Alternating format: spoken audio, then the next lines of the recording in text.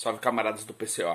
Aqui quem fala é André. Eu sou presidente e fundador da Liga João Saldanha de Futebol Antifascista e toco bateria em várias bandas antifas aqui do estado do Paraná. E venho em nome de todos os partigianos é, prestar nossa solidariedade ao Diário da Causa Operária, que sofreu um ataque de hackers fascistas que ocasionou um prejuízo de diversos artigos que estavam lá armazenados. Não ao fascismo.